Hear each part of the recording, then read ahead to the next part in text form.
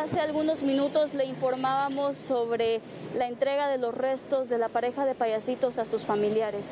Sin embargo, acá en las afueras de la morgue del INASIF, diariamente vienen muchas madres o padres de familia en búsqueda de sus hijos que se encuentran desaparecidos desde hace mucho tiempo.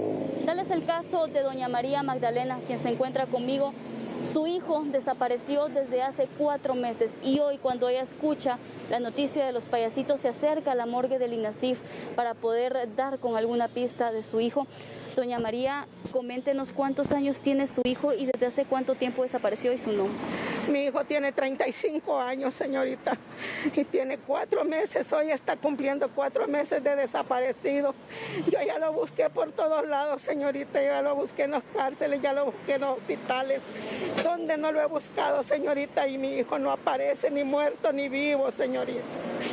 Por eso es de que ahora que yo escuché toda la bulla que estaba, dije yo, ahora voy a lograr, dije yo, para poder poner esto, dije yo, por medio de televisión, para que puedan poder ayudarme, dije, en la búsqueda de mi hijo, señorita.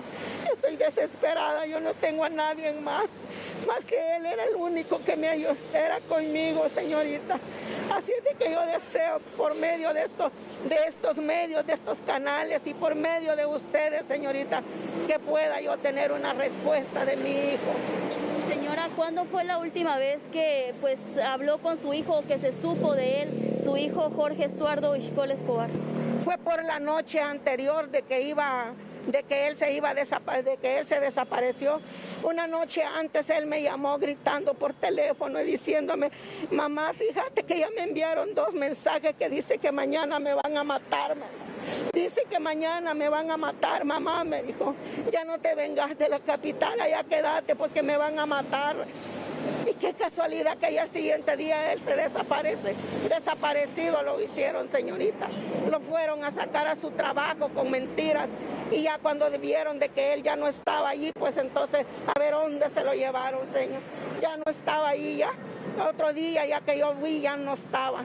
Él ya no estaba, señorita, lo desaparecieron. Se lo llevaron con mentiras diciéndole que en Amatitlán iba a arreglar una moto.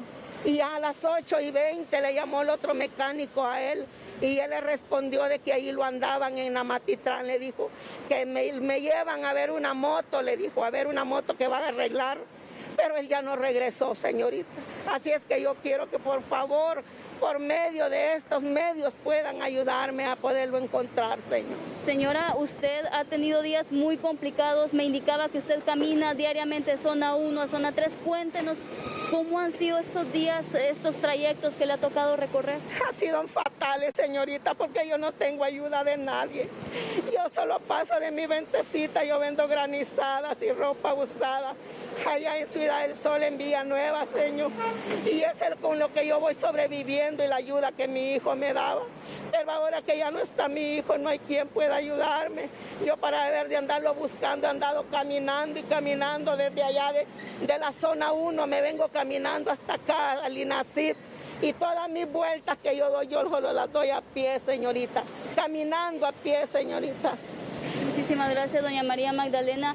Este hombre, Jorge Estuardo Iscol, él desapareció en la zona 1 de Villanueva en un taller mecánico el cual era de su propiedad. A él lo llamaron porque supuestamente le solicitaban los servicios para poder reparar una motocicleta. Él sale de su vivienda y ya no se supo sobre su paradero. Si usted tiene alguna información puede comunicarse a los números que aparecen en la pantalla para ayudar a doña María Magdalena y que encuentre a su hijo.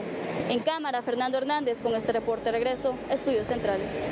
Gracias, Jensi, por trasladarnos esta información. Es bastante complicada la situación que viven miles de familias que tienen a un ser querido desaparecido. A diario, como mencionaba la periodista Jensi López, llegan a las morgues del INASIF para verificar si no ha llegado su cuerpo hasta este lugar. En este caso, usted escuchaba el caso de doña María, que su hijo Jorge Eduardo Ishkol desapareció en un sector de la zona 1 de Villanueva. Y tiene usted en pantalla los números de teléfono 4167 6262 y 42 46 63 82. Si usted en dado caso tiene información de don Jorge Eduardo Ishkol Escobar, ahí tiene usted también la fotografía en pantalla, quien ha desaparecido desde hace cuatro meses y son momentos de mucha angustia que está viviendo doña María.